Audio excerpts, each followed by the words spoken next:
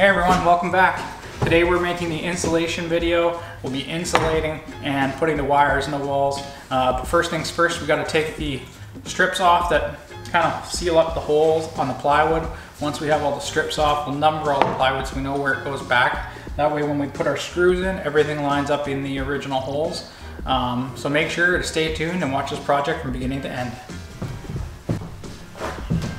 Uh, we got quite a few different tools, but this metal um, wall scraper, it's a stiff one, seems to do the trick. You get it under and you twist right by the screw.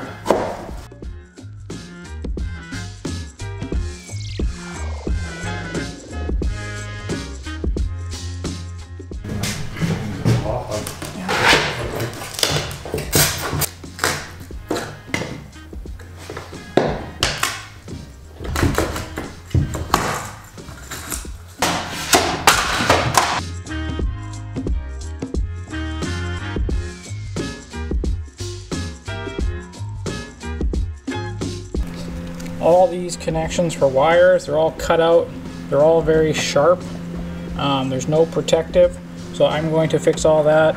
I'm going to wrap all these. Coming up the wall. Same with all these. I'm going to wrap them all again. Another sharp hole where wires go through and there's nothing protecting it. They did paint the outside frame here black for the door, but all the steel inside the trailer is not painted. I am going to paint that all. It's all going to be uh, painted with Tremclad uh, rust prevention paint.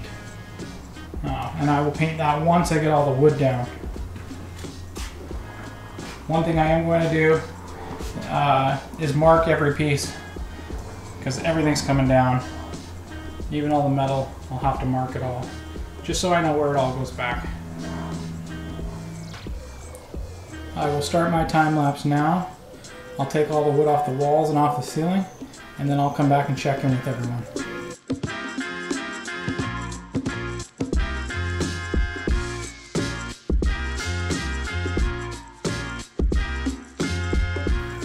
Hey everyone, uh, we are in the installation process right now. We've gotten about half the trailer done. Um, I just want to go with the process, over with the process with you guys so you guys know uh, what I'm doing and how I'm making it work on this trailer. Uh, my frame is not a square tubular, tubular frame. It's like a U uh, kind of with two wings on it.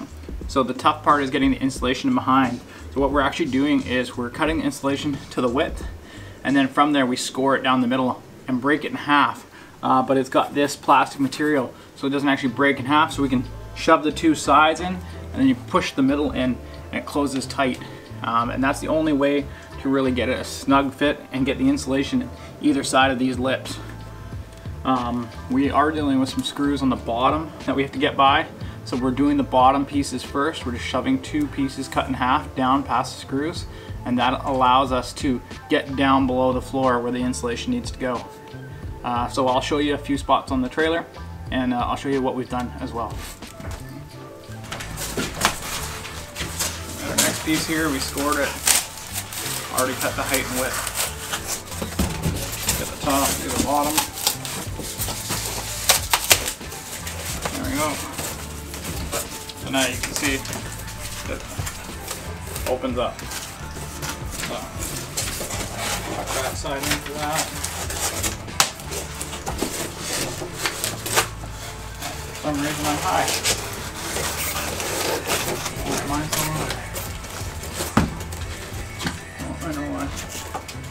So I cut this one high high because I cut it to my last one. And I'll pull it off the wall, cut a few inches off.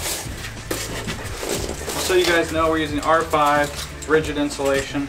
Uh, I decided not to go with the pink stuff. Here in Canada, the pink stuff is more than double the value of the, the this R5. Um, there's one step down, which is an R3.75, and uh, I think it was $10 cheaper. This stuff came into $30 uh, for a 4x8 sheet. And the pink stuff was close to 70 a sheet, which for a 24 foot trailer, that's way out of my price range. This stuff was the, the best for the price. So that's why I went with the gray stuff. Get all your corners and edges tucked in. And just push. Kind of like a closet. Really nice tight seal.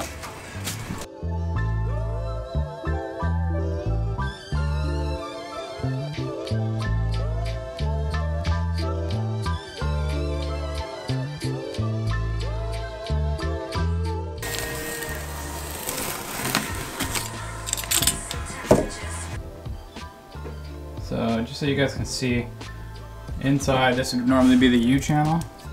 Uh, we've just a one inch, little over an inch thick piece. And if you just push it in there, you push it into the screws.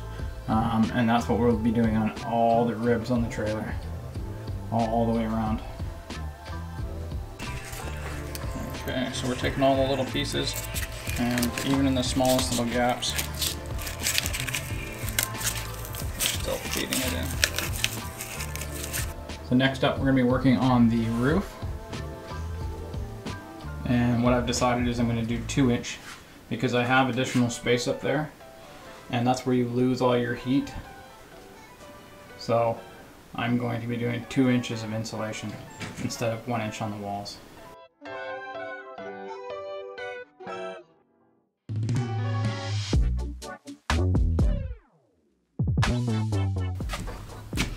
Hey everyone, hope you enjoyed those time lapses. As you can see, we have the R5 insulation on the walls. Um, it actually went in really easy, easy to cut, quick measurements.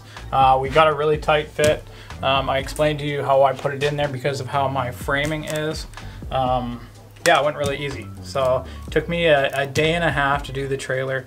Uh, it's an eight and a half wide, eight feet inside and 24 feet outside. Um, a little over 24, 24 and a, almost a half in length. Um, and then on the roof, because we had, um, you can see kind of there, we have these wood pieces. Uh, you can see on the next one, it gives us an extra inch up there. So I didn't want to have insulation and then have an inch gap. So I wanted to double up my insulation. So I had two, inch, two inches of insulation. So on the roof side, we have the R5 um, and that's tight to the roof. And then below that, I got cheaper insulation and that's just to eliminate that, that gap. Um, cheaper insulation is 3 point, R 3.75, so that gives me 8.75 on the roof and the 5 on the walls. Uh, I'm really happy with how it turned out. If you guys have any questions, put them in the comments below. Um, I'd be happy to answer them. If you have a cargo mate trailer like mine, um, I found lots of spots where I had to fill holes where air was coming through or light. Um, where the jacks were at the back, there was about a uh, two to three inch size hole. Um, so that was huge to get that filled up. And uh, once we were all done, we went around with spray foam, filled up anything that was really small with spray foam. And then now I'm coming back and doing the tuck tape.